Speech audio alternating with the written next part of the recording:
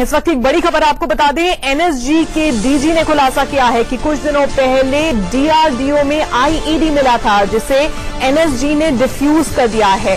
DRDO में IED मिला था, जिसे डिफ्यूज कर दिया गया है। एनएसजी को बुलाया गया था इसे डिफ्यूज करने के लिए इस वक्त की बड़ी खबर हम आपको बता रहे हैं।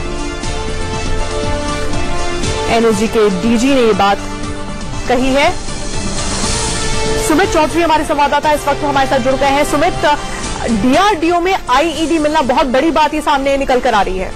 देखिए, तानिया, आज एनर्जी के एक इवेंट के दौरान एनर्जी चीफ ने ये बात कही और उन्होंने बताया कि किस तरीके से स्पेशलाइज फोर्स के इस चीज़ के लिए बुलाया गया। लेकिन ये पूरा वाक्य जो है वो आईएसबी पूरा वाक्य जो है वो आईएसबीटी के पास मेटकेफे एक जो पुराना डीआरडी भवन जिसे कहा जाता है कई बार, वहाँ पर हुआ था और एक कंस्ट्रक्शन साइट के पास ये शेल्फ मिले थे, जिसके बाद खासतौर पर एनर्जी को बुलाया गया, जिसने उसको निष्क्रिय किया। इससे पहले मैं आपको बता दूँ कि दिल्ली पुलिस को भी इसको इन्फॉर्मेशन दी गई थी, लेकिन उनसे जब वो नहीं हो पाया तो फिर एनर्जी को उसके लिए बुलाया गया और एनर्जी ने उसको निश्चय करने के बाद वहाँ से हटा दिया।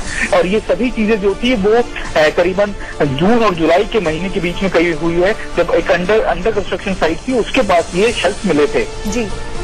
सुमित धन्यवाद इस तमाम जानकारी के लिए। इस वक्त की बड़ी खबर सुमित बता रहे हैं कि डीआरडीओ में आईडी